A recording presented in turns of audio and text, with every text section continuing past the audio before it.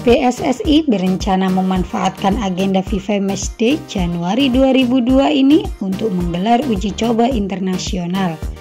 Hal itu diungkapkan langsung oleh Sekjen PSSI Yunus Nusi kepada sportstart.id Senin 3 Januari 2022.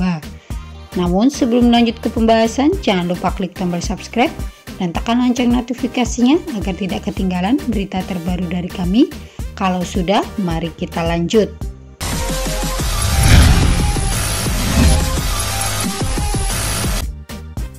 Yunus Nusi mengatakan PSSI akan memaksimalkan agenda FIFA Matchday yang tersedia di tahun 2002 ini agar timnas Indonesia bisa konsisten berpartisipasi.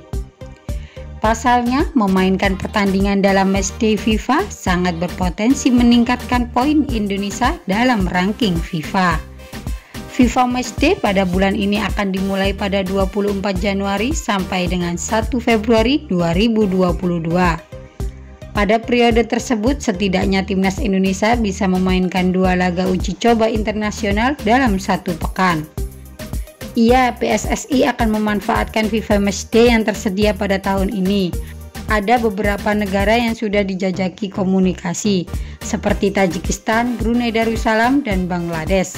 Mereka sudah menawarkan diri untuk uji coba kepada PSSI, kata Yunus Nusi kepada sportstat.id. Mengenai lokasi pertandingan, Yunus Nusi mengatakan tak menutup kemungkinan pertandingan uji coba tersebut bisa digelar di Indonesia.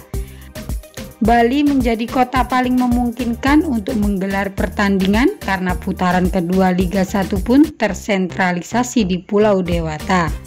Rencana FIFA Matchday bisa di Bali, Yunus Nusi menambahkan. Gimana pendapat kalian tentang rencana PSSI yang akan menggelar uji coba pertandingan dengan negara yang disebutkan tadi? Kira-kira cari lawan negara lain atau negara yang disebutkan tadi guys? Tulis komentar kalian di bawah ya. Jika suka dengan video ini, nantikan video kami selanjutnya dan salam olahraga.